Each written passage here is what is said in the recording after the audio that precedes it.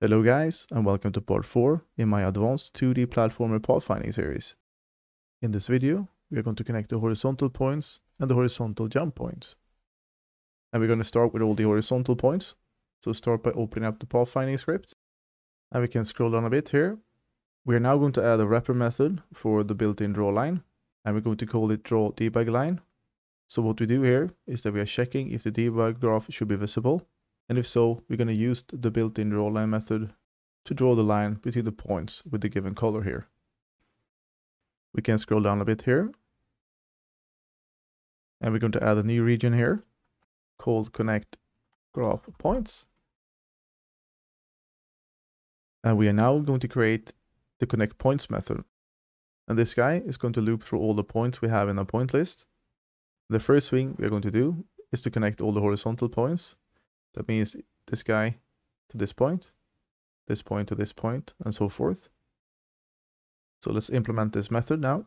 So just underneath here, we're going to implement the connect horizontal points method. It takes in a point info p1 parameter, which is the current point we are looping through in the list here. Then first of all, we're going to wrap this in an if statement. And the way we are going to scan is always from right to left. So that means if we're on this point, we want to connect to this guy here. So therefore, we only check if the tile is a left edge, or if it's a left wall, or if it's a full tile. So for the left edge, this guy up here, we're going to scan here to there. And if it's a wall tile, we're going to start on this guy and scan forward. Or if it's a full tile, we're going to connect this point to the next point we find here. We're done going to create a new variable here for the closest point. Then we loop through all the points in the point list then we compare the outer loop point P1 with the inner loop P2, and if they are the same, it's the same point, so we can just go to the next point in the list. Then next, we need to find the point, and the next point can either be a right edge, or it can be a right wall, like in this case, or it can be a full tile, one of these guys. And we also need to make sure that the x position of the point is greater than the point we want to connect to. So we're going to add that if statement in here, this means that the P2 point must either be a right edge, a right wall, or a full tile, and the Y position must be the same, which means the same height, and the X position of the point needs to be larger than the current point we need to connect to. Then in here, we check if the closest point has not yet been initialized. That means that nothing has been assigned to it. Then we're going to initialize the closest point to be the current point we're looping through here in the list. Then we're checking if the P2 point, the current point in the loop, is closer than the closest point we have found so far. Let's say the closest point we found so far is this point. Then we're looping on this point right now. Then this point is going to be closer to the P1 point than this guy.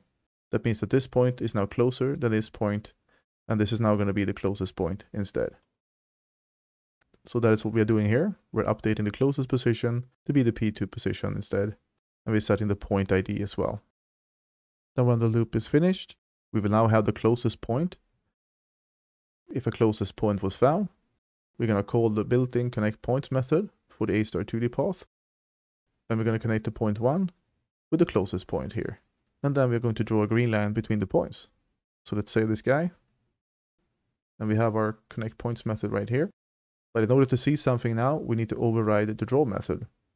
So underneath the get point info method, we're going to call the public override void for the built-in draw function. And then we check here if the debug graph should be visible. And if so, we are going to connect the points. And by default, it is already set to true here, so we don't need to do anything. Back to the draw method. Let's go to the Godot editor and let's click on play. And now you can see we have the horizontal connections here, but we have a special case we need to take care of now. As you can see, this guy can now connect through tiles to this guy, and we don't want that. So we're going to adjust this now. Let's bring up the code. You can scroll down a bit. We're going to add a new method called horizontal connection can be made. The correct name for the method is horizontal connection cannot be made. This is fixed in the code up on GitHub. And this guy takes in the P1 point and the P2 point. So first of all, we are going to convert the position to tile coordinates here for both the P1 position and the P2 position. Then we're going to loop through all the tiles between the points. Let's say this is the start tile, and we are looping to the right here. Then we are checking here if the tile is not an empty tile, which means we basically found a wall right here, or if the tile below is an empty tile. Let's say we're standing on this tile, and we find an empty tile, then we are not going to make the connection between these two guys. We're later going to connect them as jump points instead. So we want this guy to be cut off here. So we now need to update the code here. And we're just going to wrap these two lines inside of the horizontal check here. So if the horizontal connection cannot be made between the P1 position and the closest position, only then we're going to connect the points. So let's save the file and bring up the Godot editor and click on play. And as you can see right now, we only have connections between the horizontal points here. All right, we can now go back to the code and we're going to update our connect points method. And inside of this guy, we are going to run the method called connect jump points. So let's implement this guy now. So just under the connect points method, we're going to add the connect jump points method. And this guy takes in the point info, P1, that's being looped through up here. And inside of this guy, we're going to add the method connect horizontal platform jumps. And it's going to see if we can connect the current point, P1, that we're looping through here, with point P2 that we're looping through here. So let's implement this guy now. So just underneath here, we are going to add the connect horizontal platform jumps method. And the first thing we check is to see if the points are the same. And if so, we're just going to return out of the method because we don't need to update the same point. Then to connect the jump, let's say between this point here and this point here, the Y position needs to be the same. And the P1 point, this guy here, needs to be a right edge. And the P2 point has to be a left edge. So we can connect between them. And we are now going to introduce a jump distance variable as well. So we can decide if we can jump from this guy to this guy here. So for instance, down here, this point and this point are not connected. That is because the jump distance between these two points is too large, so we can't connect them. All right, so press Control Home to go to the top of the file. Then under the Show Debug Graph variable, we're going to add both the jump distance and the jump height variable. And we're now going to work with this guy. So you can press Control Alt minus, at least in Linux, to go back to the previous position in the code. And in here, the Y position of the two points needs to be the same and point 1 needs to be a right edge and the point 2 needs to be a left edge. And we're also going to make sure that the position of the P2 point is greater than the P1 point because we're only connecting from right to left here, right to left and so forth. And for this, we need to convert the local positions to tile positions.